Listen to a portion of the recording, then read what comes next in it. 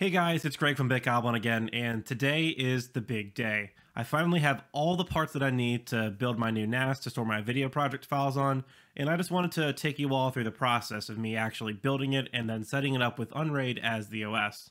This should be a fun one, so go grab a drink, put your feet up, and let's get to it. Ah, I'm just so excited, can't you tell? Ah. You smell that? It smells like a bit goblin. All right, since I don't really have a set that I can, uh, you know, have everything splayed out on and kind of go over everything, I'm gonna do this on my phone camera, so hopefully this comes out uh, well enough. So first thing I want to do is kind of go over all the parts. There have been a couple changes um, that I want to go over first. Um, but so the, the base of the platform, as you probably know from, from uh, a previous video of mine, I have the AMD Athlon 3000G processor, which should be more than enough that, to run the Unraid OS, since I'm not really doing anything else beyond just, you know, uh, serving files from it. I have 16 gigs of uh, Corsair Vengeance LPX DDR4 uh, RAM at uh, 3200 megahertz. Again, nothing fancy, but good enough. So the motherboard that I actually spec'd out in my how to plan a PC build video, um, I, I was kind of stupid and missed the sale on that, and the, the price for that board was a, a little bit more than I wanted to spend on it. So I went ahead and looked around a little bit, and I found this one for a little bit more. I think it was 5 or $10 more than I originally spec'd but it still has all the specs that I need. You know, it supports AM4 processors, has four RAM slots. So if I need more RAM, I can, you know, upgrade it later. And it still has three PCI Express slots, which will be good for, you know, having 10 gig networking and up to two uh, SATA expansion cards. Uh, moving on, so I still have the power supply, the Seasonic GM500 80 plus gold power supply. These are the three 4 terabyte WD Red Plus drives. This is the WD Blue 500 gigabyte NVMe SSD that does it for all the main components. I do have this flash drive here. It's a SanDisk. You I guess this was my Ubuntu flash drive for a while. Oop, that's a 32 gig. Sorry about that. Uh, same model drive. This one's just a 16 gig. You really don't need that big of a flash drive, so I'm just going with this 16 gig one. May as well save the 32 for something else. But Unraid boots off of a flash drive, so I have this uh, cheap one that I've had for quite a while now, and hopefully it doesn't die too quickly. Before we get to these two things, because I didn't mention these in that uh, how to plan a PC build video, I'll talk about them in a sec. But the last part is the case I have over there on the floor. It's just kind of big, doesn't fit on my desk. So getting back to these cards over here. So these are two PCI Express like expansion cards. Um, this first one right here, it's like an LSI 9208 something mini SAS to SATA card. Basically, it just plugs into a PCI Express by four, or I guess by eight slots, sorry and it gives you two mini SAS ports that you can break out into um, four SATA ports each. Now that I think of it, I'm not sure where my um, breakout cables are. I'll have to find those in a sec. And this card right here is a Mellanox ConnectX uh, 3, I believe. Yes, ConnectX 3. Basically, all it is is a SFP plus 10 gigabit uh, networking card, and that'll just be so I can get faster networking. Now I know since I'm using hard drives to store all the video files on, it's not going to be anywhere near to 10 gigabit speeds, but I figured having this in there kind of gives me future proofness if I do uh, end up adding more hard drives or get a free NAS and, you know, have like a much more per performant build. So if you haven't noticed the pattern for all these parts, it's really nothing special overall. It's really just whatever parts I could find that were good enough and I could find on sale for good enough deals. Yeah, that's all I have to say for that. Let's uh, get to the build. All right, first up is going to be the, uh, like, I guess, core of the platform with the processor, motherboard, RAM, and of course I got thermal paste. As for the heatsink, I'm not sure if I want to go, go with the stock one that's included with the Athlon processor or like one of the cheaper ones I have in storage over there.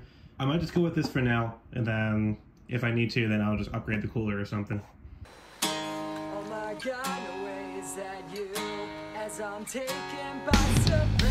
Nothing could prepare me for the way that you should, stare right on through me.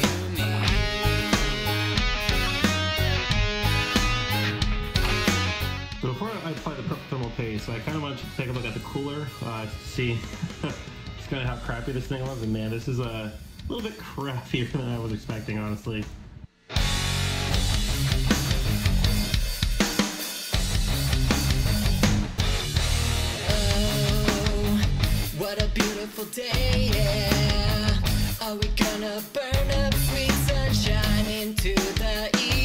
Okay, now that the core platform is done, I'm going to move on over to the case and get that prepped for the power supply stuff. Uh, this isn't quite that important. It's more of a fun little fact thing. But uh, I opened this power supply. Um, I opened the box to get, the power supply out, and uh, it's a very strong chemical smell. My door was closed. There might be some problems right now, but uh, yeah, um, fun stuff.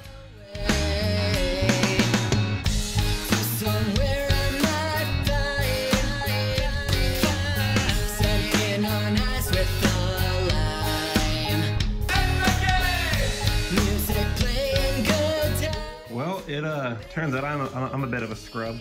That whole video last week that, that I did on this case, I went through like pretty much everything I could think of. Completely spaced on this little uh, top cover thing, uh, which would allow a little, bit more airflow to come out of the case or go into it, depending on how you want to do your airflow. so, so I'm gonna pop that top off, put this on, and yeah, cool stuff. Humanity as a whole's going down the hole. I think it's time for us.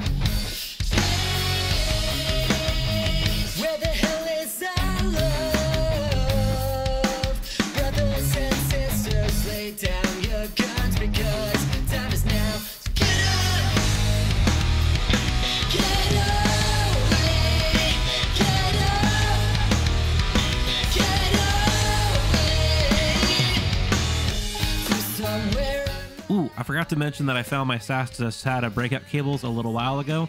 They actually fell behind my cabinet in my storage area, so I pulled that out, picked them up, and let's get these plugged in.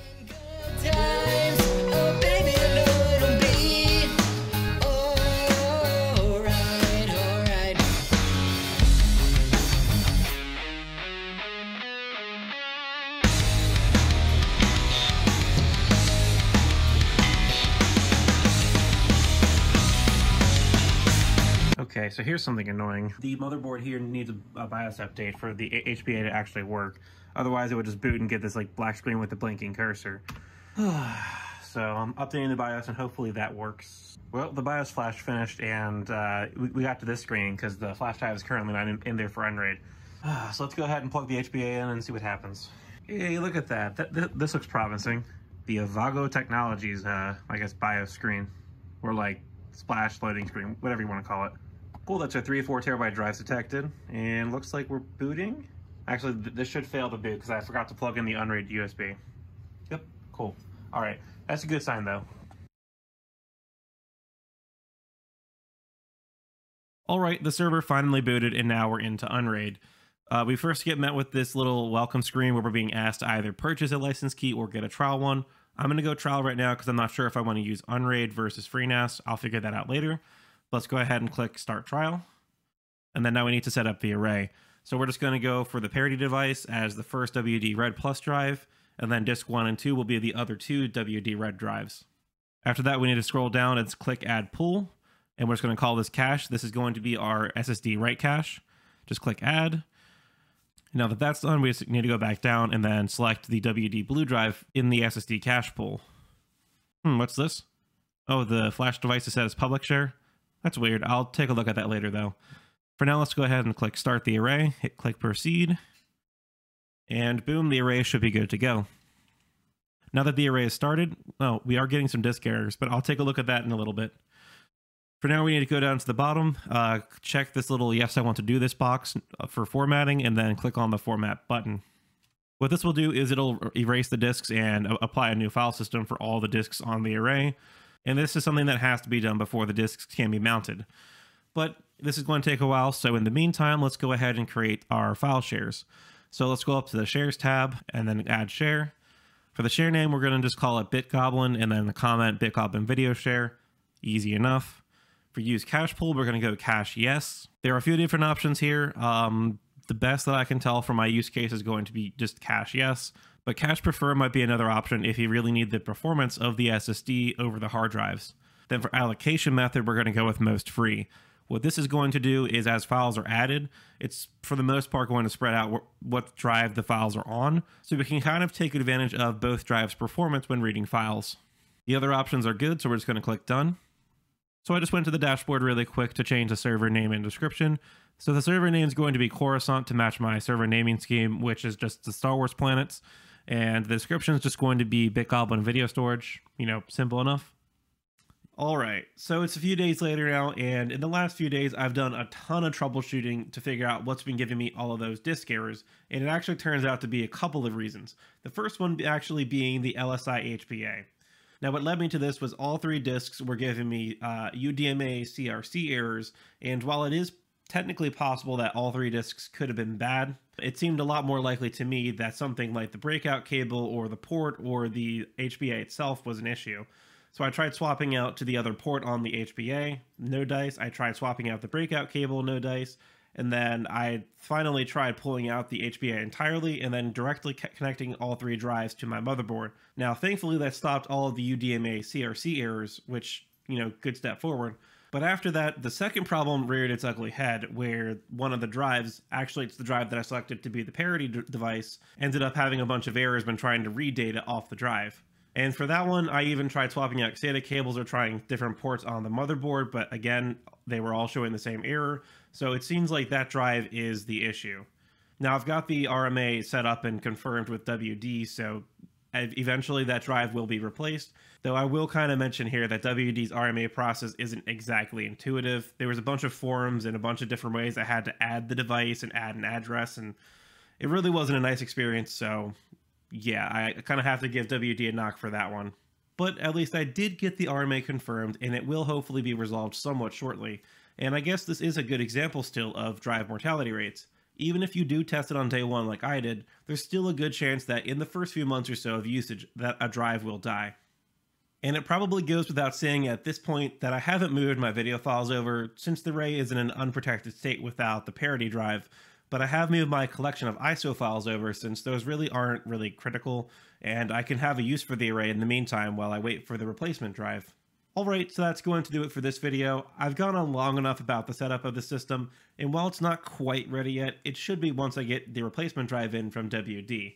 I had a lot of fun doing this build since I've never really worked in like a NAS ready case before, and I learned some new things about using Unraid, HBA compatibility with motherboards and BIOSes, and as I mentioned a moment ago, it did reaffirm to me that it's important to double check your hardware when it's going in something critical like a NAS or a server.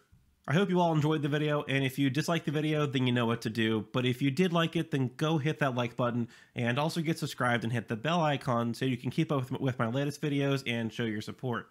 I've also got a Discord server if you'd like to join the community and just chat and hang out with us. And if you need it, there are several channels to get help. I hope you all have a great day, and I will catch you in the next one.